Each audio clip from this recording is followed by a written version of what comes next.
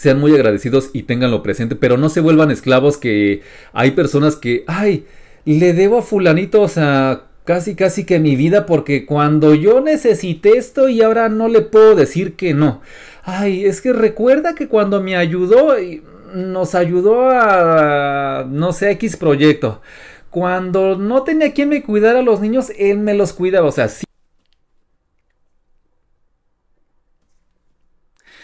¿Qué onda, parceros? ¿Cómo están? Espero que estén bien, súper chidos, súper bacanos. Soy Jesus el mexicano, un episodio más. Hay que ser siempre muy agradecidos con la vida, con Dios, con todo lo que tienes, el pan de cada día, con la familia, por el trabajo, por todas las vainas. Siempre hay que ser muy, muy agradecido desde que te levantas. Creo que es una percepción que te cambia.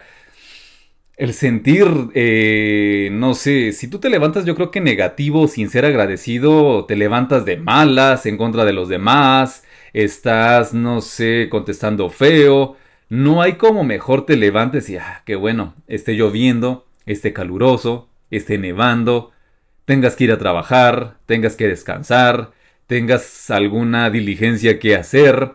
Sea agradecido porque estás de pie, muchas personas no pueden caminar, algunos no tienen el pan de cada día, otros no están bajo un techo, otros no tienen empleo, otros no tienen, dirían por ahí, perro que le ladre, en el sentido no ofensivo, sino de que no, o sea, no tienen ningún acompañante, viven solos, o sea, su alma los acompaña solamente. Hay que ser muy agradecidos porque siempre hay algo que estarse sintiendo bien pleno de, esa forma de decir, gracias, gracias. ¿Por qué lo digo?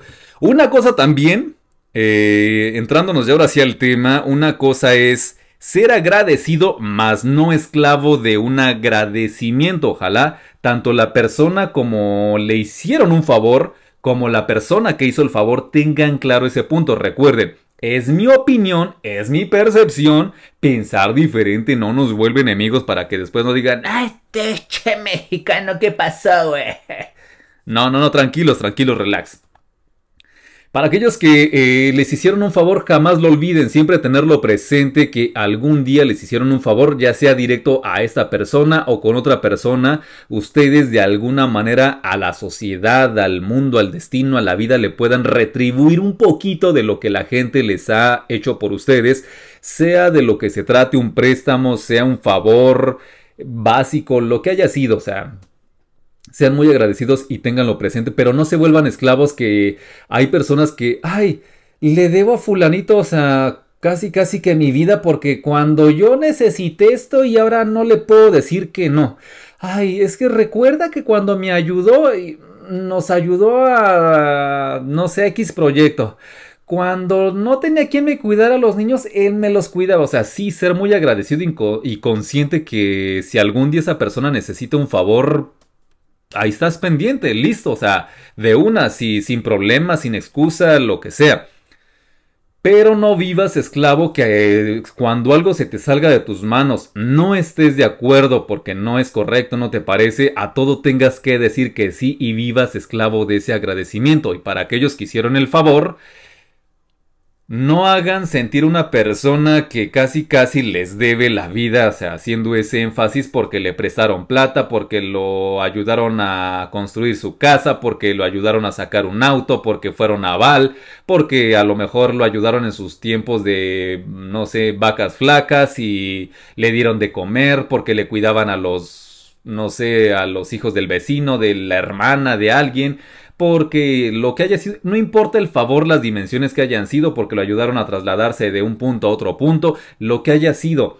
Yo pienso, yo siento y yo considero que si tú realmente hiciste un favor a cambio, pues hablando, digamos, lo que es un favor no hiciste algo de corazón si todo el tiempo te lo pasa, te la pasas echándoselo como en cara y que a todo lo que tú pidas, necesites y demandes, esa persona te se ve obligada a tenerte que decir y acceder a todo. Sí, sí, sí, sí porque le hiciste un favor, porque si no realmente hiciste una inversión y no un favor porque le esperabas cobrarlo. Pues obviamente si es dinero es obvio que esperas la plata, yo lo entiendo, esa es otra cosa. Pero hablando de lo que es un favor del punto, o sea, de ese acto, no puedes esperar que la otra persona en algún momento tenga el mismo acto. Debería de ser algo, pues, digamos, sería como lo elocuente, lo correcto.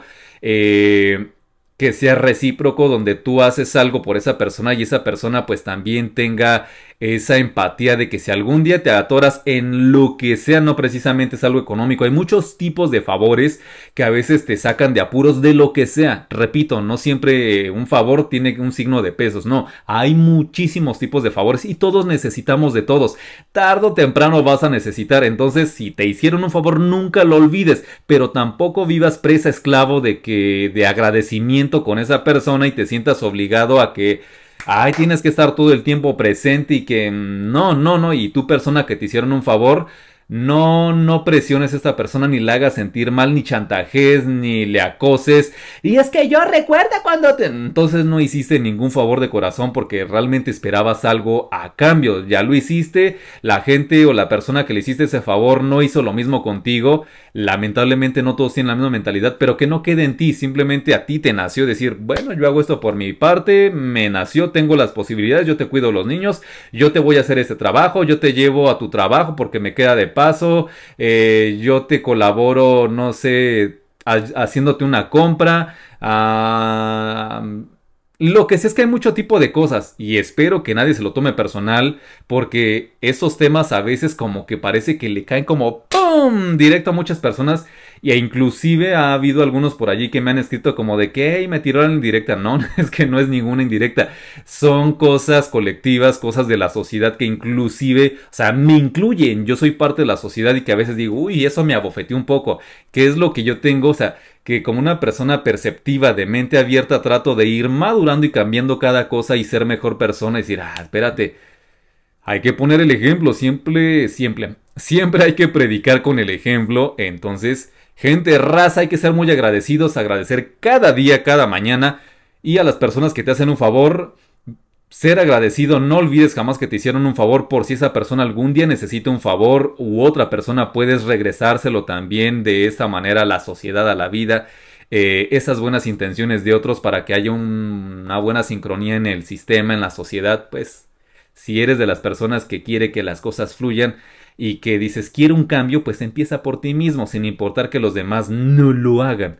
Entonces empecemos por allí y no vivas entonces esclavo de eso. Y personas que hicieron un favor, no esperes cobrarlo porque si no, no hiciste ningún favor de corazón. Porque dices, yo te lo hice y a mí no, y es que no es que te lo esté cantando, pero recuerda que no sé qué tanto y a mí no se me olvida y pinche hojaldra y que no sé qué tanto. Entonces, no eres mejor en ese sentido si, si te tomas esa postura, que a veces las cosas no son justas, sí se entiende, lamentablemente para muchos no son justas, pero la vida, las cosas ya se encargan de acomodar las cosas. A veces tienen un porqué, hay una respuesta, no es una insensatez, no es la persona, sino son las circunstancias. Hay que entender también algunas vainas.